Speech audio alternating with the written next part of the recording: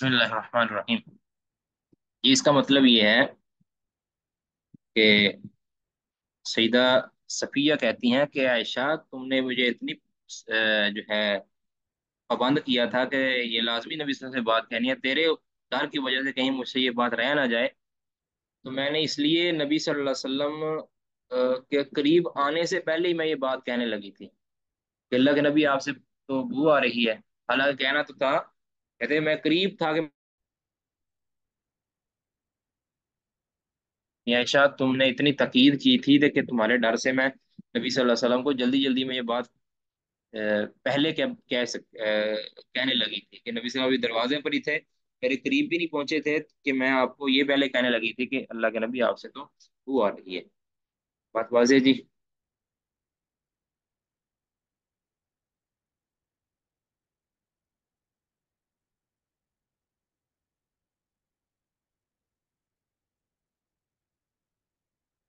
جي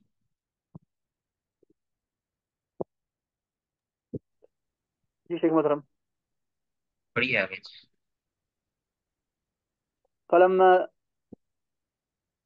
فلما دنا رسول الله صلى الله عليه وسلم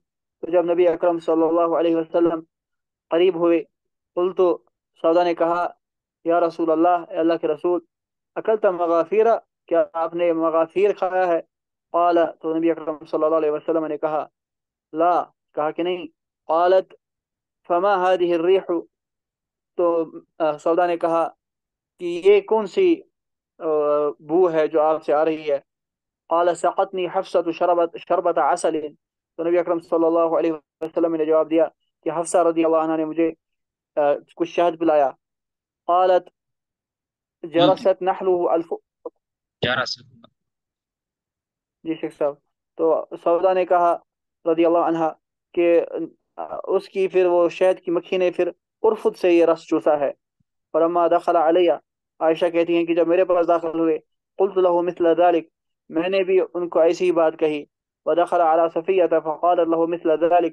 تو صفیہ رضی اللہ عنہ کے بعد جب داخل ہوئے، تو انہوں نے بھی ایسی بات کی۔ فلما دخل على حفصہ تو جب نبی اکرم صلی اللہ علیہ وسلم حفصہ رضی اللہ عنہ کے بعد داخل ہوئے، قالت له یا رسول اللہ اللہ اسقی کا من ہو تو حفصہ نے کہا کیا میں اس آپ کو شہر میں سے نہ پلاؤں اس اسقی کا جی شیخ صاحب؟ ٹھیک ہے۔ قال لا حاجت لی بھی تو نبی اکرم صلی اللہ علیہ وسلم نے کہا مجھے اس کی ضرورت نہیں ہے۔ یعنی میں نہیں چاہتا اس سے مجھے بدبو پیدا ہوتی ہے سمیل آتی ہے تو لہذا میں یہ شاید نہیں پیوں گا۔ قالت تقول سودا، کہتی ہیں کہ سیدہ عائشہ فرماتی ہیں کہ سودا نے پھر کہا کہ سبحان اللہ، ہائے اللہ، کہ لقد حرم نہ ہو ہم نے تو نبی صلی اللہ علیہ وسلم کو محروم کر دیا شہر سے۔ یعنی ہم نے اس چال کے ساتھ، اپنی اس پلاننگ کے ساتھ نبی صلی اللہ علیہ وسلم کو شہر سے، اب کافی مرغوب غذا دی حالانکہ ہم نے اس سے محروم کر دیا۔ تو ان کو افسوس ہوا سودا کو، وہ کل تو لہا، تو سیدہ عائشہ فرماتی، میں نے ان سے کہا، اس کو تھی خاموش ہو جا کہ ہماری چال میں جو ہے وہ خرابی پیدا نہ کر، خاموش ہو جا۔ ٹھیک ہے، تو یہ اللہ تعالیٰ نے پھر بتا دیا تھا نبی صلی اللہ علیہ وسلم کو کہ آپ کے ساتھ یہ کچھ کیا گیا ہے۔ یہ تفصیلی روایت ہے جس طرح صورت تحریم کے آغاز میں آتی ہے۔ تو اس طرح کی پلاننگ کرنا، اس طرح کی چال چلنا، یہ بھی بیوی کو اپنے شور کے ساتھ یا سوتن کے ساتھ جائز نہیں ہے۔ آج کل عجیب و غریب، یہ تو ہے نا ایک مثال، اس کے علاوہ بڑی عجیب و غریب طرح کی چالیں چلی جاتی ہیں۔ بیوی اپنے شوہر کے بارے میں، شوہر اپنی بیوی کے بارے میں اور اپنے سوتنوں کے بارے میں بہت کچھ کیا جاتا ہے۔ اس طرح نند اپنی بھابھی کے بارے میں، بھابھی اپنی نند کے بارے میں، یہ ہر گھر کی کہانی ہے بس باہر کیا۔ جی۔ باب ما یکرہ من الاحتیال فی الفرار من الطاعون۔ طاعون سے بھاگنے میں ہیلا کرنا ممنوع ہے یعنی مکروہ ہے۔ ٹھیک ہے، ایک تو ہے نا کہ نبی صلی اللہ علیہ وسلم نے فرمایا تھا کہ جب کسی علاقے کے اندر یہ تعاون وغیرہ یا اس طرح کی کوئی اور مرض جو متعدی مرض ہے اور جان لیوا ہے، جس علاقے کے اندر ایسی موزی مرض آ جائے، تو وہاں کے بشندے نکلے نا اور وہاں پہ جانے والے وہاں جائیں نا۔ تاکہ اگر کسی کو نقصان ہو جائے تو اس کے دین میں کوئی خرابی نہ پیدا ہو۔ یعنی ایک، تحفظ کرنا ہے اپنا اور دوسروں کا بھی۔ اب اگر یہ تو ہے نبی صلی اللہ علیہ وسلم کا حکم کہ کوئی وہاں سے نکلے نہ اور کوئی وہاں جائے نہ۔ اب جانے والے تو چلو سمجھ آتی ہے کہ کوئی بھی نہیں وہاں نہیں جائے گا اپنی جان کو بچانے کے لیے۔ اب جو نکل، جو شخص وہاں علاقے کے اندر ہے، اب اس کو ابھی ابھی تعاون کی بیماری لگی نہیں ہے۔ اب وہ اس بیماری سے بچنے کے لیے یا کوئی اور بہانہ لگا کے وہ کہتا ہے میں تو یہاں سے جانا چاہتا ہوں یعنی مثال کے طور پر کہ جی میں تو، میرا کوئی ضروری کام ہے، میں نے باہر جانا ہے۔ اب یہ جو ہیلا کرنا ہے نا تو بہانہ لگا کے اس تعاون سے بچنے کی ہیلا کرنا، یہ بالکل بھی جائز نہیں ہے۔ نبی صلی اللہ علیہ وسلم نے جو فرما دیا ہے کہ وہاں پہ رہو، اگر بیماری آ گئی جس علاقے میں آئی ہے، وہاں پہ رہو، وہاں سے نکلو نہ جس بستی میں آئی ہے، فرض کیا تو اس بستی والے وہاں سے باہر نہ نکلیں۔ وہ کیا کرتا ہے کہ اب چونکہ سارے بستی والوں کو ابھی بیماری نہیں لگی، اب وہ کیا کرتا ہے، کہیں مجھے بیماری لگ نہ جائے، لہٰذا میں یہاں سے کوش کرتا ہوں اور کوئی بہانہ لگاتا ہے۔ اگر کوئی اس کو روکتا ہے تو کہتا ہے بھی نہیں، میں تو اس مقصد کے لیے جا رہا ہوں، میرے لیے کوئی ضروری کام ہے، میرا جو ہے نا، وہاں وہاں جانا بہت ضروری ہے، کوئی بھی بہانہ۔ تو اس طرح کا ہیلا کرنا اپنی جان کو بچانے کے لیے یہ بالکل بھی درست نہیں پڑھنے چاہیے۔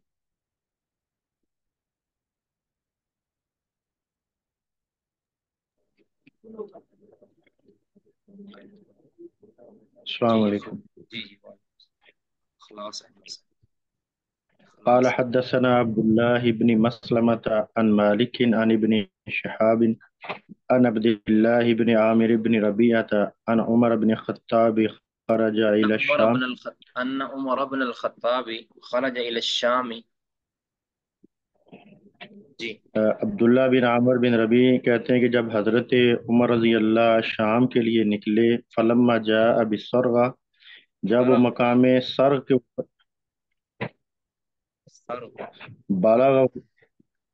بالغہ نے یہ خبر پہنچی ان الوباء کہ وبا وقع بالشام کہ شام کے اندر پھیل چکی ہے۔ فاخبرہ تو ان کو خبر دی عبد الرحمن ابن عوف عبد الرحمن ابن عوف نے انہیں خبر دی ان رسول اللہ صلی اللہ علیہ وسلم قال کہ رسول اللہ صلی اللہ علیہ وسلم نے فرمایا اذا سمعتم به بعرض کہ جب تم کسی جگہ کے بارے میں سنو فلا تقدمو علیہ تم اس کے اندر داخل نہ ہو۔ وَإِذَا وَقَا اذا سمیتم یہاں پہ بھی نہیں ہے لیکن بھی اور جگہ پہ ہے اذا سمیتم بھی جب تم اس بیماری کا یعنی تعاون وغیرہ کا تم سنو۔ بھی ارزن کسی کسی علاقے کے اندر۔ تو فلا جی۔ فلا تقدمو علیہ تم تو اس میں داخل مت ہو۔ وَإِذَا وَقَا بِأَرْضٍ اور اگر تم کسی زمین کے اندر ہو عن تم بھی اور وَإِذَا وَقَا بِأَرْضٍ وہ کسی جب وہ کسی زمین میں آ جائے یعنی وہ وبا پھیل جائے جب وہ مرض کوئی وبا کسی علاقے میں پھیل جائے وَأَن تم بِهَا اور تم اس علاقے کے اندر ہی ہو۔ فَلَا تَخْرُجُوا فِرَارًا مِنْهُ تو وہاں سے بھاگتے ہوئے نہ نکلو۔ جناب یہاں کوئی ہیلا کر کے، بہانہ کر کے میں یہاں سے نکل لوں۔ تو اب یہ حدیث سیدنا عبد الرحمن بن عوف رضی اللہ تعالیٰ نے سنائی۔ اب چونکہ وہاں اختلاف ہو گیا تھا صحابہ کے درمیان، شام کی طرف سفر کر رہے تھے، راستے میں پتہ چلا کہ آگے وہ با ہے اس علاقے کے اندر۔ تو عمر رضی اللہ تعالیٰ نے مشاورت کی کہ اب جایا جائے یا نہ جایا جائے۔ تو مشاورت کے بعد نبی سیدنا عمر رضی اللہ تعالیٰ نے یہی رائے جو ہے وہ پیش کی کہ بھی اس طرح کرتے ہیں کہ واپس چلتے ہیں۔ تو ابو بیدہ بن جرا کہتے ہیں کہ آپ کیا اللہ کی تقدیر سے بھاگ رہے ہیں؟ کہتے ہیں نہیں، ہم اللہ کی تقدیر سے نہیں بھاگ رہے، ہم اللہ کی تقدیر سے اللہ کی تقدیر کی طرف بھاگ رہے ہیں۔ یعنی اپنا بچاؤ تو کرنا ہے نا۔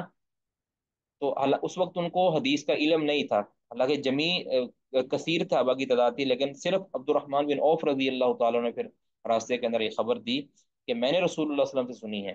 اب یہ حدیث دلیل ہے کہ خبر واحد حجت ہے۔ اب صحابہ کرام رضوان اللہ علیہ مجمعین نے اپنے قیاس اور اپنے ساری باتوں کو نظر انداز کیا اور اس حدیث پہ اوپر عمل کیا۔ ٹھیک ہے؟ تو فراجہ عمر من سرغ عمر رضی اللہ تعالیٰ پھر یہ حدیث سن کے سرغ مقام سے ہی واپس آ گئے کہ آگے جو ہے نا ہم نہیں جائیں گے۔ حالانکہ لمبا سفر کیا تھا، اپنے مقام مقصود اور منزل مقصود تک نہیں گئے۔ اس لیے نہیں گئے کہ وہاں پہ یہ بیماری آئی ہوئی ہے۔ لہذا وہاں، اب یہ تعاون کیا ہے؟ اس کی مختلف تشریحات کی گئی ہیں۔ کچھ تو کہتے ہیں کہ یہ کوئی پیٹ کی بیماری ہے، کوئی کہتے ہیں کوئی اسہال وغیرہ لگ جاتے ہیں، کوئی کہتے ہیں کہ یہ کوئی جلد کی بیماری ہے۔ کوئی کہتے ہیں کہ ہر متعدی بیماری کے اوپر یعنی ایسی مہلک اور متعدی بیماری کہ جو جس سے ہلاکتیں بھی ہوتی ہوں اور وہ اس کی وہ آگے منتقل بھی ہوتی ہو تو ایسی بیماری یعنی اللہ اس کو منتقل کرتا ہو، فی نفسی تو کوئی بھی بیماری منتقل نہیں ہوتی۔ یعنی اللہ اس کے اندر یعنی جس طرح ایک سے دوسرے کو لگ جاتی ہے عام طور پہ بیماری۔ اللہ تعالیٰ نے جو ہے وہ ایک کہہ لیں کہ اللہ کا تکوینی امر ہے کہ اس بیماری کو دوسرے کے اندر منتقل کرنے کا۔ ایک سلسلہ ہے۔ تو اگر کوئی ایسی بیماری ہے تو اس سب پر کہتے تعاون کا لفظ بول دیا جاتا۔ ہے بہرحال یہی زیادہ راجے ابن اسیمین رحمہ اللہ نے بھی اس کو راجے قرار دیا کہ اس کو عموم پہ رکھا جائے کہ ہر وہ بیماری جو متعدی اور مہلک ہے، اس کے اوپر تعاون کا لفظ ہم کہہ سکتے ہیں۔ تو جس جس علاقے کے اندر اس طرح کی بیماری ہو، وہاں سے نکلنا نہیں ہے اور اور اگر کہیں اور علاقے کے اندر تو وہاں جانا نہیں ہے۔ تو اگر کوئی شخص کو ہیلا کر کے ابھی میں اس علاقے سے نکل جاؤں تاکہ ان لوگوں کی، کیونکہ وبا ادھر میرے علاقے میں آ چکی ہے، تو لہٰذا ابھی تک مجھے لگی تو نہیں ہے، لہٰذا میں وہاں سے نکلوں اپنی جان بچانے کے لیے۔ تو یہ منع کر دیا گیا ہے۔ تو اس ہی، اسی بہانے کے ساتھ وہاں سے نکلنا یہ ہیلا ہے اور یہ مکرو ہے۔ تو وہاں ابن شہاب ابن شہاب سے ہے۔ یعنی یہ پیچھے والی سند وہی عبداللہ بن مسلمہ، مالک بن شہاب، ان سالم بن عبداللہ۔ ادھر کیا تھا؟ عبداللہ بن عامر بن ربیہ اوپر۔ یہاں ہے سالم بن عبداللہ، ان عمر ان من صرف من حدیث عبد الرحمن کہ عمر رضی اللہ تعالیٰ عنہ صرف اور صرف واپس جو پلٹے ہیں، وہ عبد الرحمن بن عوف رضی اللہ تعالیٰ عنہ کی بیان کردہ حدیث کے ساتھ کی وجہ سے پلٹے ہیں۔ ایک حدیث کے اوپر انہوں نے اپنے سارے سفر کو ترک کر دیا۔ حدثنا ابو الیمانی قال حدثنا شعیب عن الزهري قال حدثنا عامر بن سعد بن ابي وقاص انه سمع اسامه بن زید يحدث سعدا. سعد کو وہ بیان کرتے ہیں کہ ان رسول اللہ صلی اللہ علیہ وسلم ذکر الوجع، نبی صلی اللہ علیہ وسلم نے بیماری کا ذکر کیا۔ کہ اب یہی بیماری تھی وبائی مرض تھا۔ یہ وجہ مطلب یہی تعاون کی بیماری تھی۔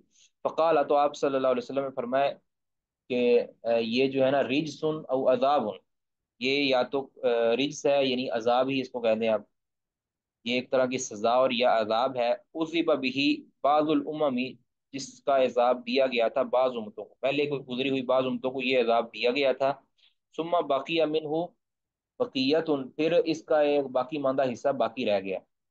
ٹھیک ہے، اس کی کچھ باقیات رہ گئیں، جو پھر منتقل ہوتی رہتی ہیں مختلف علاقوں کے اندر مختلف۔ فیضاب المراتو مرتا تو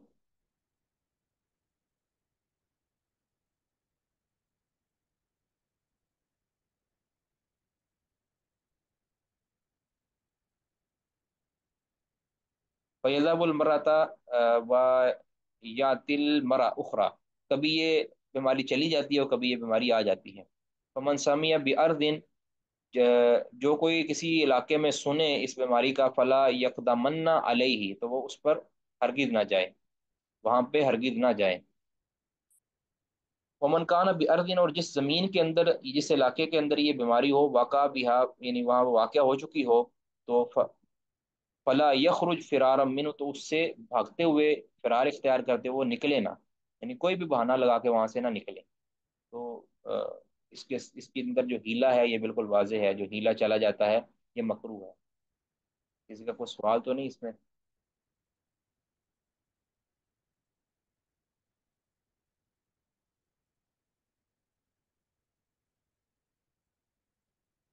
جی بابن فل ہبتی و شفاتی ہبا اور شفا کے بارے میں۔ ہبا تو آپ جانتے ہی ہیں، کسی کو کوئی چیز ہبا کر دینا، تحفہ دے دینا۔ ٹھیک ہے۔ اور شفا کہتے ہیں یہ حق ہوتا ہے ایک حق کے شفا کہ اگر آپ نے کوئی اپنی جائیداد یعنی ایسی جائیداد جس کے اندر شراکت داری ہے، شراکت داری والی جو جائیداد ہے، اس آپ، اس میں ایک شریک ہیں، آپ اپنا حصے کو فروخت کرنا چاہتے ہیں، تو آپ سب سے پہلے جو ہے نا، فروخت کرنے کے لیے آپ اپنے شریکوں کو یعنی جو آپ کے پارٹنرز ہیں ان کو پیش کریں گے کہ میں اپنی یہ چیز فروخت، اپنا حصہ میں فروخت کرنا چاہتا ہوں یا میں اپنی یہ جائیداد فروخت کرنا چاہتا ہوں، آپ اس میں سے خریدنے کے متمنی ہیں یا اس میں انٹرسٹڈ ہیں؟ اگر وہ کہیں کہ نہیں، ہم انٹرسٹڈ نہیں ہیں، ہم نہیں خریدنا چاہتے یہ ہماری پہنچ سے باہر ہے تو آپ اس کو باہر بیچ سکتے ہیں۔ کسی اور کو، کسی تیسرے بندے کو آپ باہر کے بندے کو اس میں فروخت کر سکتے ہیں۔ اگر آپ اس شریکوں کو پیش نہیں کرتے یعنی شریکوں کے اوپر آپ اپنی اس چیز کو فروخت کرنے کے لیے پیش نہیں کرتے۔ اور آپ باہر تیسرے بندے کو کسی، باہر کے بندے کو آپ وہ چیز فروخت کر دیتے ہیں۔ اب جو شریک کار ہیں، جو اس کے پارٹنر ہیں، ان کو حق حاصل ہے کہ وہ اس پر حق شفا کا اظہار کریں۔ یعنی وہ خریدار نے جو چیز خریدی ہے، جو جو آؤٹ سائڈر ہے یعنی باہر سے آیا ہوا ہے اس نے جو چیز خریدی ہے، جتنی میں خریدی ہے، آپ اس کو اتنے میں ہی خرید سکتے ہیں۔ آپ عدالت سے، قاضی سے رابطہ کر کے کہیں کہ میں اس میں اپنا حق شفا ظاہر کرتا ہوں۔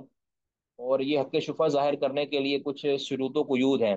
ایسا نہیں ہے کہ آپ ساری زندگی آپ کے پاس یہ حق شفا رہتا ہے، بلکہ یہ ہے کہ جب تک وہ جو جس نے وہ چیز خریدی ہے، جب تک وہ اس کی حدود و قیود نہیں بنا لیتا، مثال کے طور پر ایک مکان ہے، اس مکان کے اندر تین لوگ شریک ہیں۔ اب جو ایک شریک ہے، وہ اپنے چیز کو کسی تیسرے بندے کو فروخت کر دیتا ہے۔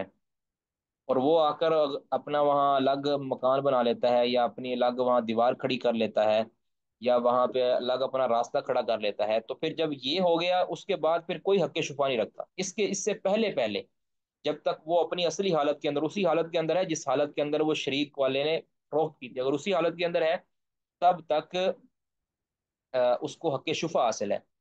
جب وہ اس میں حد بندیاں ہو گئیں، اس میں جو ہے وہ راستے جدا ہو گئے، تو پھر کوئی حق شفا اس کے بعد نہیں ہے۔ اب یہ جو حق شفا ہے، یہ سب سے پہلے حاصل ہے شریک کار کو یعنی جو شراکت دار ہے، اس کا پارٹنر ہے۔ کیا مطلب دو بھائی ہیں جن کو جائیداد ملی ہے، باپ کی طرف سے ایک ہی جائیداد ہے۔ ایک ہی مکان ہے فرض کیا، تو اس کے دو پارٹنر ہیں، تین پارٹنر ہیں۔ تو سب سے پہلے وہ اس کے حق اگر فرض کیا بلکہ اصل تو حقدار وہی ہے۔ اب پڑوسی کے بارے میں بعض روایتوں میں آیا، الجارو اکو بسک بھی کہ پڑوس بھی اپنے پڑوس کی وجہ سے جو ہے نا حقدار ہے۔ اب وہاں پڑوسی سے مراد، بعض نے تو کہا ہے کہ وہ شریک کار ہی جو ہے نا شریک، شراکت دار ہے، وہی پڑوسی ہے۔ اور بعض نے کہا کہ ایک اور پڑوسی جس کا راستہ اور جس کی کہہ لیں کہ جو ضرورت کی چیزیں ہیں، وہ ایک جگہ پہ ہی مصرف ان کا استعمال ایک ہی جگہ پہ ہوتی ہیں۔ مثال کے طور پر ایک دو گھر ہیں، سات سات گھر ہیں۔ اب دونوں کا راستہ ایک ہی ہے۔ دونوں کا راستہ ایک ہی ہے، تو پھر وہ بھی جو پڑوسی ہے نا، ساتھ والا، وہ بھی حق شفا رکھتا ہے۔ ٹھیک ہے؟ البتہ اگر راستے الگ الگ ہیں، کوئی ان کا آپس میں تعلق نہیں ہے، صرف دیوار ایک تعلق ہے، تو پھر کوئی حق شفا نہیں ہے پڑوس پڑوسی کو۔ صرف اور صرف اگر الگ الگ کہہ لیں کہ چیزیں ہیں، الگ الگ اپنے اپنے راستے ہیں، اپنی اپنی استعمال کی چیزیں ہیں، کوئی دوسروں کے اندر کوئی بالکل بھی اس کا تعلق نہیں ہے، تو اسے حق شفا حاصل نہیں ہے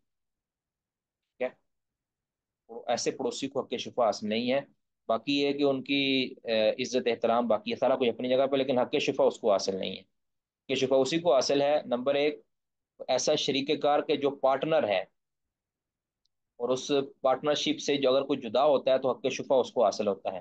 یہ منقولہ اور غیر منقولہ دونوں جائیدادوں کے اندر ہے۔ منقولہ اور غیر منقولہ یعنی ایسی چیز کے جس کو منتقل کیا جا سکتا ہے اس کے اندر بھی ہے اور ایسی چیز جس کو منتقل نہیں کیا جا سکتا اس کے اندر بھی ہے۔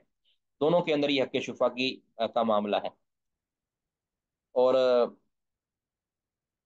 ایک تو ہے کہ شریک کار، دوسرا ہے کہ ایسا پڑوسی کہ جس کا اس کے ساتھ ڈائریکٹ تعلق ہے یعنی ایسی چیز کا پہ چیزیں استعمال ہوتی ہیں کہ جو اس کی مشترکہ ہے مطلب پانی ہے۔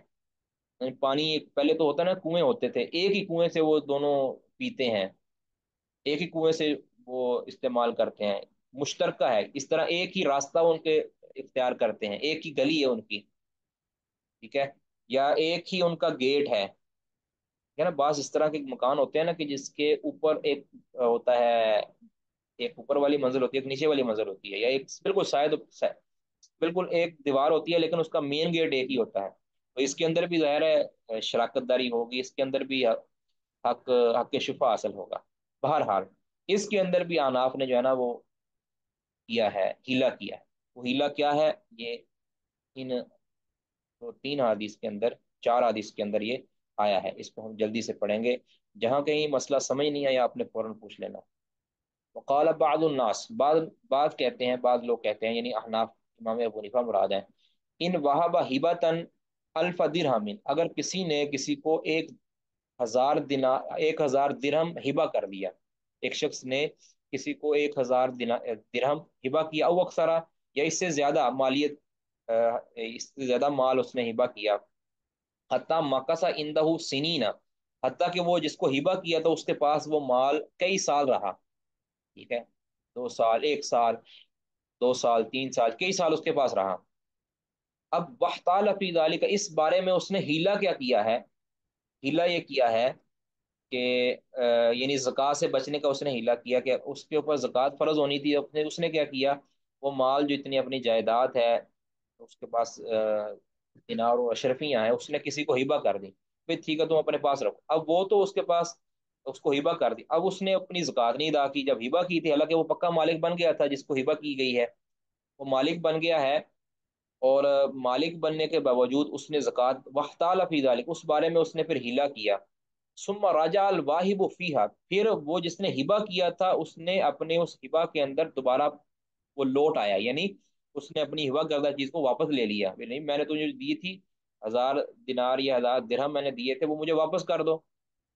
اب دیکھیں، دو الا کہتے ہیں کہ فلا زکات اعلی واحد منہما۔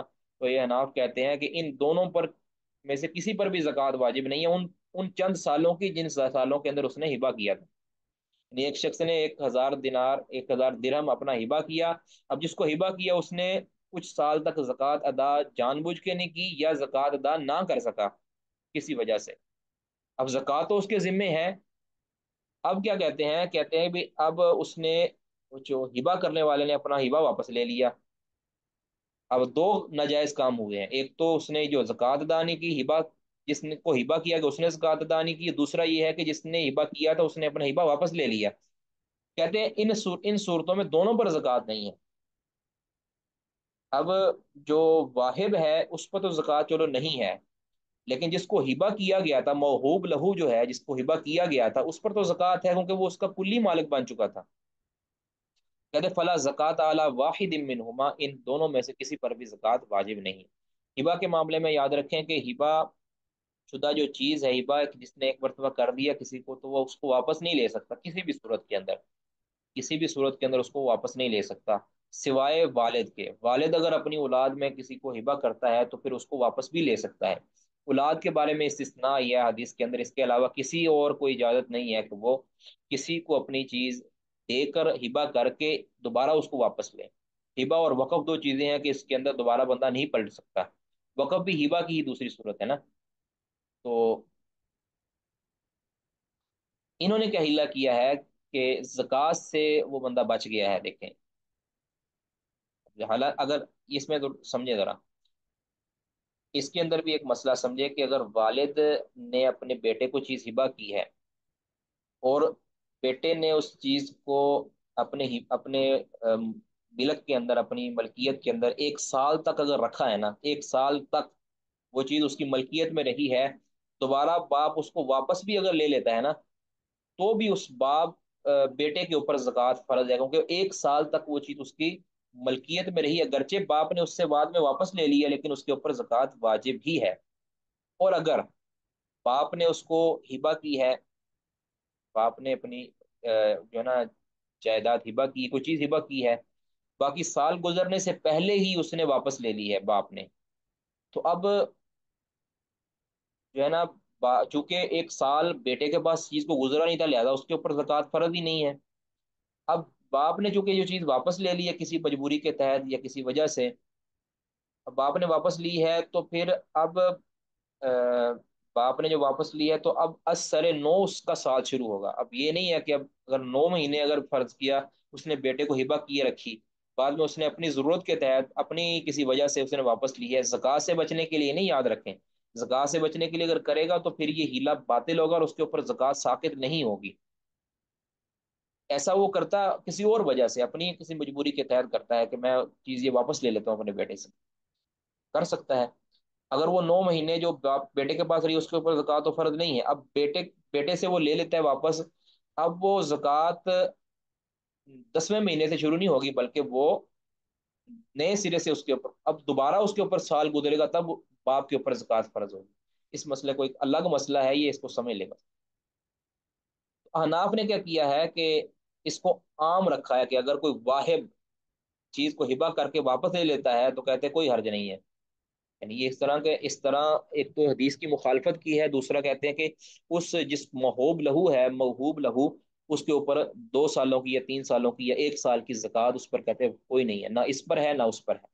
کہتے فخالف رسولہ دوبارہ دیکھیں وہ کالا باد الناس باد الناس کہتے ہیں کہ ان وہابا ہبا تن اگر کوئی شخص ہبا کرتا ہے، کوئی چیز ہبا کرتا ہے الفا درہمن، ایک الفا درہمن، ایک ہزار درہم، او اکثر یا زیادہ، حتیٰ مقص آئندہ حتیٰ کہ محبوب لہو کے پاس وہ چیز رہتی ہے، سنین کئی سال، وحتال فی ذالک اور اس بارے میں وہ ہلا کرتا ہے۔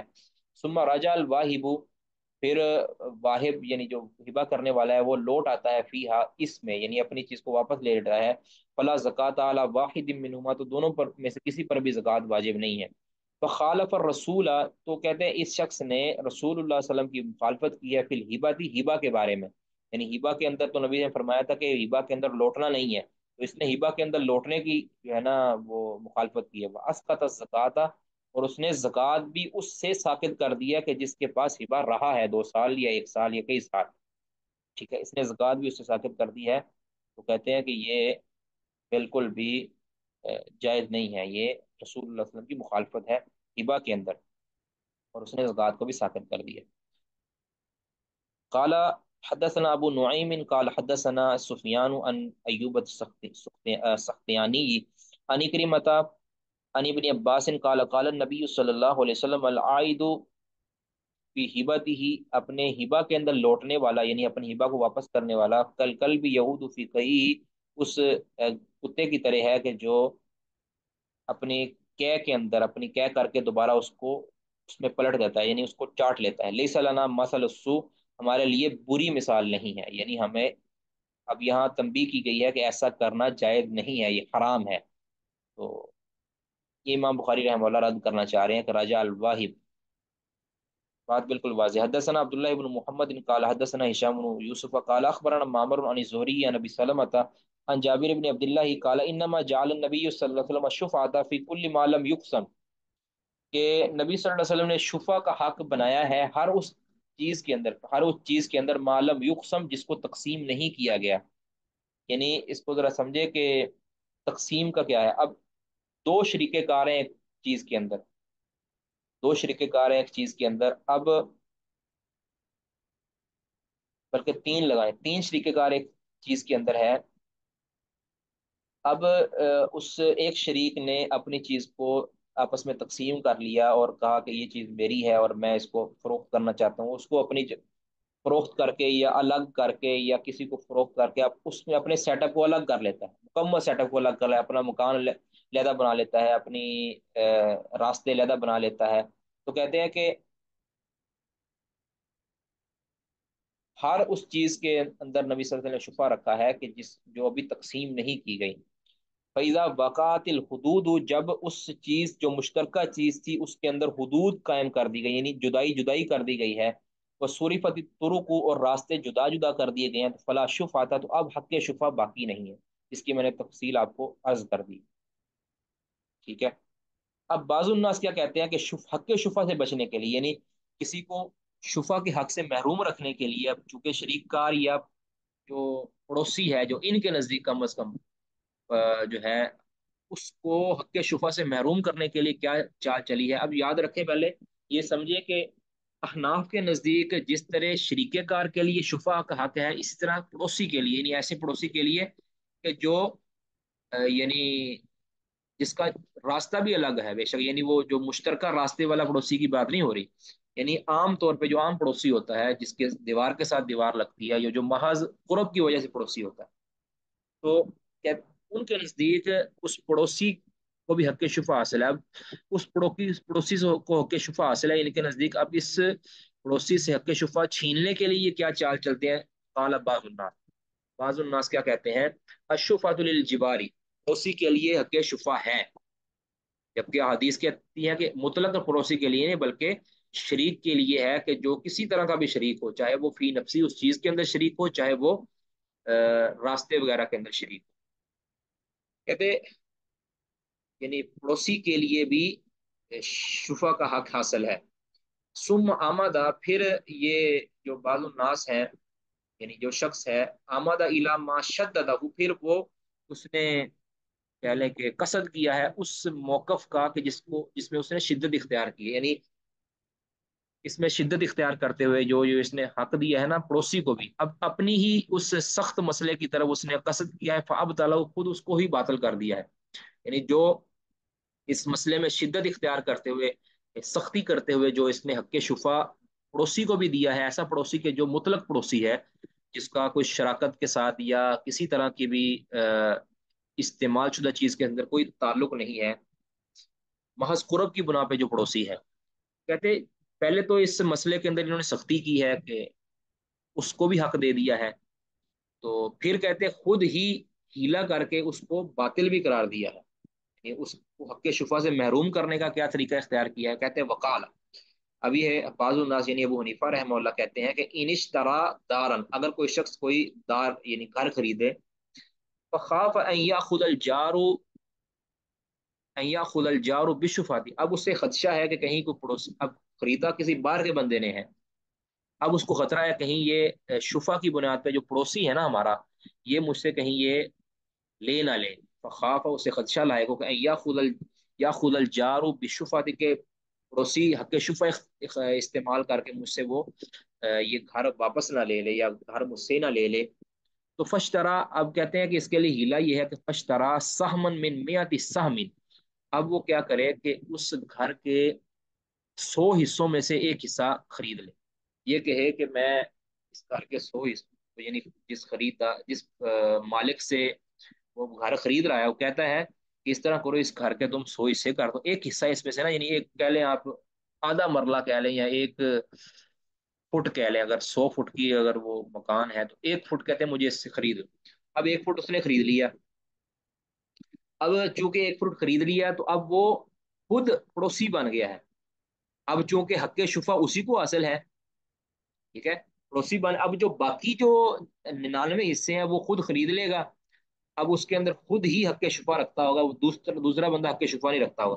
دوسرا بندہ صرف ایک حصے کے اندر حق شفا رکھتا ہوگا، کیونکہ وہ حصہ جب اس نے خریدا تھا، ایک حصہ، اس وقت وہ آؤٹ سائڈر تھا، اس وقت وہ باہر کا بندہ تھا، اس وقت وہ پڑوسی نہیں تھا۔ اب ہیلا کیا رکھا ہے کہ دوسرے یعنی جو پڑوسی ہے اس کو حق شفا سے محروم کرنے کے لیے کیا کیا ہے کہ وہ ایک حصہ اس کا سو حصے بنا کر ایک حصہ اس کو خرید لیا۔ اب وہ کیا کہتے ہیں کہ اس ایک حصے کے اندر صرف وہ حق شفا رکھے گا۔ اب چونکہ وہ ایک حصہ بالکل تھوڑا سا ہے، بالکل معمولی سا ہے، تو اس چیز کے معمولی ہونے کی وجہ سے وہ جو پڑوسی ہے، اس اپنے حق شفا کو بھی استعمال نہیں کرے گا۔ کہتے اس کے اندر میں نے کیا استعمال کرنا ہے؟ اتنا بڑا گھر جو ہے نا، وہ مجھ سے چلا گیا ہے چال بازی کی وجہ سے۔ اب یہ چھوٹا سا ایک مرلہ یا آدھا مرلہ یا ایک فٹ یا پانچ فٹ یا ایک گز، اس کو میں لے کر کیا کروں گا؟ اب اس کے اندر بھی وہ حق شفا استعمال نہیں کرے گا۔ ٹھیک ہے؟ وکالا کیا کہتے ہیں؟ انش طرح دارن، اگر اس نے کوئی گھر خریدا ہے، فخاف خود الجارو بشفاتی اسے خدشہ لائق ہوا کہ یہ گھر میرا حق شفا کی وجہ سے پڑوسی لے جائے گا، تو فش طرح سہم من میات سامن، تو وہ سو حصوں میں سے ایک حصے کو خرید لیتا ہے۔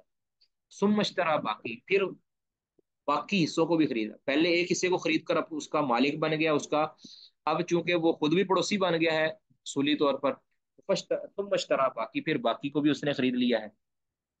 وکان علی جاری اشفاتو اب جو پڑوسی تھا نا، اس کو حاصل ہے، حق حاصل ہے شفا کا فصہ مل اولی پہلے حصے کے اندر۔ کہ پہلے حصے کے اندر جب خریدتے وقت وہ آؤٹ سائڈر تھا، اور یہ جو پڑوسی تھا، اور یہ اس کے اندر حق شفا رکھتا ہے، کہتے ولا شفا لہو فل فی باقی داری باقی گھر کے اندر کہتے اس کا کوئی حق شفا اس کو حاصل نہیں ہے۔ کہتے والا فی کا کہتے اس کو اختیار حاصل ہے کہ وہ اس بارے میں ہیلا کر سکتا ہے۔ بات کی سمجھ آئی جی؟ اس طرح ہیلے کے ساتھ دوسرے کو حق شفا سے محروم کیا گیا ہے کہ پہلے ایک حصے کو، چھوٹے سے حصے کو خرید لیا تاکہ اگر اس کو حق شفا حاصل ہوگا بھی تو پھر اس تھوڑے سے حصے کے اندر ہوگا۔ اب وہ اس حصے، اپنے حق کو استعمال ہی نہیں کرے گا کہ کیونکہ یہ حق بالکل تھوڑا سا اگر وہ اس کو خرید بھی لے گا تو اس کا کوئی فائدہ نہیں ہوگا۔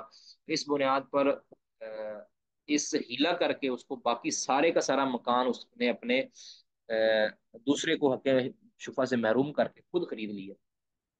اس طرح بھی ہوتا ہے۔ اس کی سمجھ آئی یا نہیں آئی؟ اس کی سمجھ نہیں آئی۔ میرا جی شیخ صاحب، سمجھ آ گئی الحمد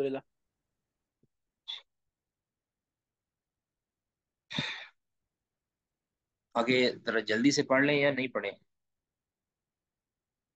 جی پڑھ لیتے ہیں جی آسان ہی ہے انشاءاللہ۔ حدثنا علی بن عبداللہ، قال حدثنا سفیان عن ابراہیم بن میسرۃ قال سمعت امر بن الشرید الشریدی، قال جاء المسور بن مخرمہ مسور بن مخرمہ رضی اللہ تعالیٰ عنہ آئے، فوضع یدہ علی منکبی۔ کہتے ہیں عمر بن شرید کہتے ہیں، میرے کندھے پر انہوں نے ہاتھ رکھا۔ فن تلق تو ماؤ تو میں ان کے ساتھ چل گیا، چل دیا الا سعد سعد بن ابی وقاص رضی اللہ تعالیٰ عنہ کے پاس۔ فقال ابو رافع للمسوری ابو رافع نے مسور سے کہا، الا تامرو کہ آپ اللہ تامرو حاضا کہ آپ اس سے بات نہیں کرتے اللہ تامرو حاضا یعنی آپ اس ساتھ سے بات نہیں کرتے کہ این یشتریا منی، کہی تھی کہ یہ مجھے یہ خرید لے مجھ سے، میرا یہ گھر اللہ کی فی داری کے جو میرے کہہ لیں آپ، حویلی کے اندر ہے، جو میری حویلی کے اندر میرا یہ گھر ہے، اس کو یہ خریدنا نہیں چاہتا، اس کو خرید نہیں سکتا یہ یعنی اس کو پڑوسی تھے نا وہ۔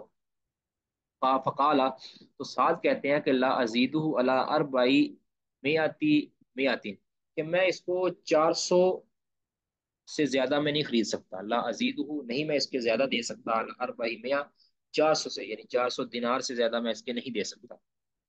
اما مقطعاتن و اما منجماتن اور وہ بھی کہتے ہیں، میں قسطوں کے اندر دوں گا۔ یہ دونوں کا مطلب ہے کیا مقطع اور منجم۔ یہ لفظ دونوں میں سے کوئی ایک لفظ بولا ہے کہ وہ بھی میں قسطوں کے اندر دوں گا، وہ بھی اکٹھے نقد میں نہیں دے سکتا۔ چار سو دینار۔ کالا کہتے ہیں کہ اوتی تو اب یہ انہوں نے کہا، ابو رافع نے کہا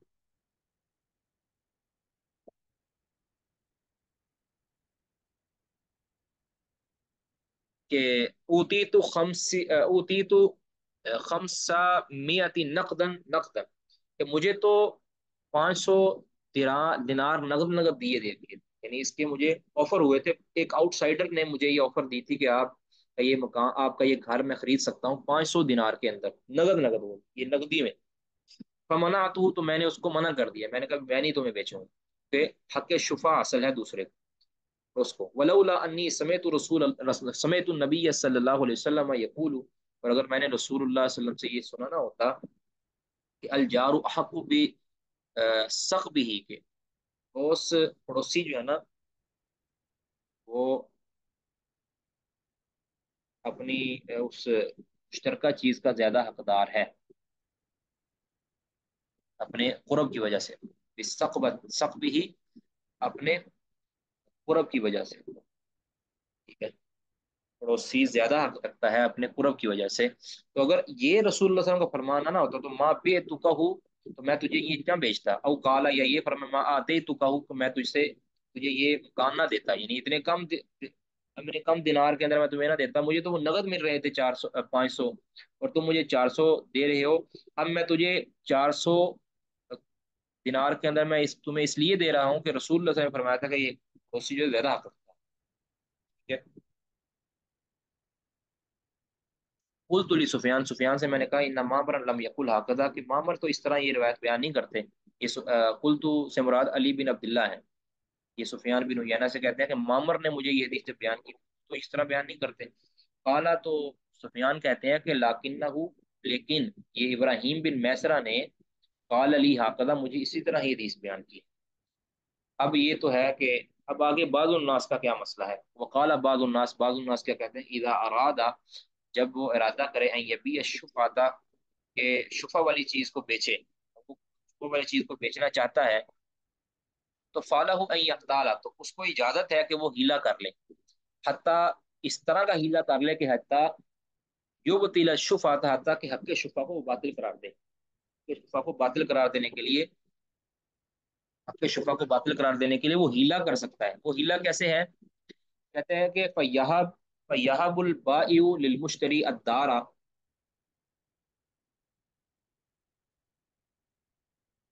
کو فواہ البائیو اب وہ جو بیچنے والا یعنی جو شریک ہے، وہ خریدنے والی یعنی آؤٹ سائڈر کو وہ ہبا کرتا ہے۔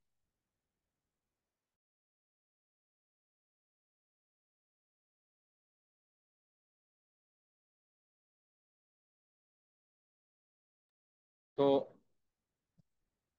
فیاب البایو تو وہ بیچنے والا فروخت کرنے والا للمشتری خریدار کو ہبا کر دیتا ہے ادارا وہ گھر۔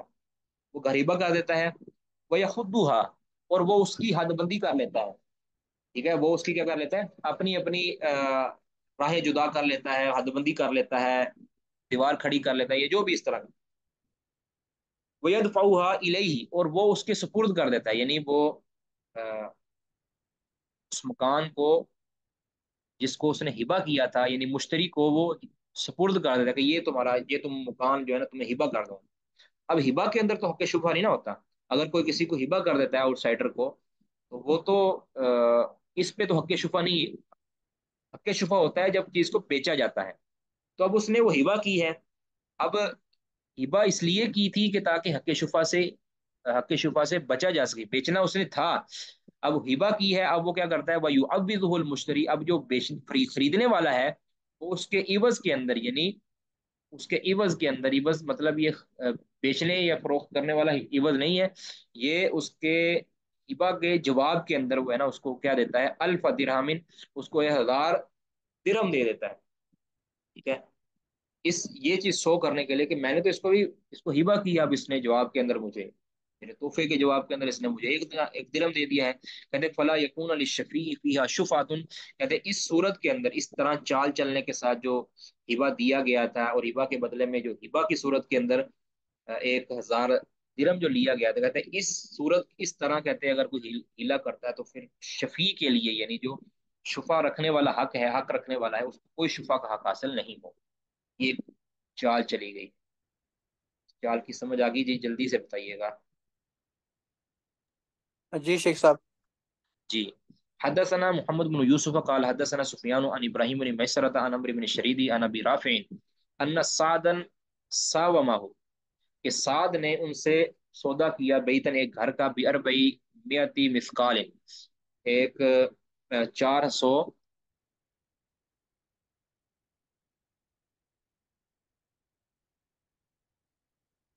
چار سو مسقال کا۔ اب مسقال کیا ہوتا ہے ابھی اس کا کوئی پتہ نہیں۔ چار سو مسقال پر چار سو درم یا یہ دینار ہے۔ تو ان سے جو ہے وہ سودا کیا اپنے گھر کا۔ فقالا اور سعدی یہ کہا کہ لولا انی سمیت رسول اللہ صلی اللہ علیہ وسلم یقول اگر میں نے رسول اللہ علیہ وسلم یہ فرماتے ہوئے نہ سنا ہوتا کہ الجار حق بالسق بھی کہ پڑوسی جو ہے اپنے پڑوس کی وجہ سے زیادہ حق رکھتا ہے چیز کا۔ تو کہتے ہیں کہ، لما آتے تو کا لما آتے تو تو میں تجھے کبھی بھی یہ مکان اتنی کم قیمت میں فروخت نہ کرتا۔ وقال بعض الناس، اب بعض الناس کہتے ہیں کہ ہمارے پاس اس کا علاج ہے۔ کہ انش طرح نصیب دارن، اگر کوئی شخص، اگر کوئی شخص گھر کا کوئی حصہ، ایک حصہ جو ہے نا وہ بیچتا ہے۔ ایک حصہ بیچتا ہے۔ فارادہ یبطل الشفاء اور اگر اس کا ارادہ ہے کہ اب میں حق شفا سے دوسروں محروم کر دوں یعنی آؤٹ سائڈر آتا ہے اور اس گھر کو خریدتا ہے، پڑوسی کو یا شریک کار کو اس حق شفا سے محروم کرنا چاہتا ہے کہیں مجھ سے یہ واپس نہ لے لے۔ اگر اس کا ارادہ ہے تو اب اس کے لیے طریقہ کار یہ ہے کہ اب وہ خریدنے والا خرید لے ایک بار۔ وہ وہابا لب نہیں صغیر اور اس خریدنے کے بعد اس گھر کو اپنے چھوٹے بیچے یعنی نابالغ بچے کے نابالغ بچے کو ہبا کر دے۔ خرید کر فوراً اس کو اپنے چھوٹے بچے کے کو ہبا کر دے، اس کا مالک بنا دے اس کو۔ کہتے ولا یقون علیہ یمین اب چھوٹے بچے کے اوپر قسم نہیں ہوگی۔ اب اس کو ہبا کر دیا ہے۔ اب جب حق شفا کا مطالبہ کرنے والے کھڑے ہوں گے، تو اس کو پتا چلے گا کہ یہ تو بھی اس کو ہبا ہو چکا ہے۔ یہ چھوٹے بچے کو ہبا ہو چکا ہے۔ اب اس کو اس سے وہ واپس نہیں لے سکتے کسی بھی صورت۔ کیونکہ اس کو جب عدالت میں پیش کیا جائے گا تو اس سے کوئی قسم کا مطالبہ نہیں کر سکتا کہ تمہیں چال کے ساتھ یا چال بازی کے ساتھ اس سے یہ ہبا لیا تو اس سے یہ مکان، یہ ہبا کیا گیا تھا۔ اب چونکہ چھوٹے بچے پر قسم نہیں ہے، اس وجہ سے کہتے ہیں اس سے کوئی واپس نہیں لے سکتا، کوئی مائی کا لال اس سے واپس نہیں لے سکتا۔ اگر وہ شک شفا سے محروم کرنا چاہتا ہے، شک شفا کو باطل کرنا چاہتا ہے، تو گھر خرید کے اپنے چھوٹے سے بچے کے وہ ہبا کر دے بھی یہ تیرا ہوا۔ ہبا کر دیا ہبا کرنے کے بعد اب بچے کو تو عدالت کے اندر اس سے کوئی مطالبہ نہیں کر سکتا۔ بچہ تو اس کا اب وہ بچہ اس کا فائدہ یہ ہوگا، اگر بڑے بچے کو ہبا کرتا ہے، بالغ کو، تو پھر تو یہ ہوگا کہ اس کو عدالت میں لایا جائے گا، اس سے قسمیں لی جا سکتی ہے کہ تو قسم اٹھا کے واقع تجھے اس ہیلے کے ساتھ تجھے ہبا نہیں کیا گیا تھا۔ تو اس کو قسم دینا پڑے گی، یا تو جھوٹی قسم کھا کے گناہ گار ہوگا، یا پھر وہ قسم اگر سچی دے گا تو پھر اس کو حق شفا سے محروم نہیں رکھا جا سکے گا۔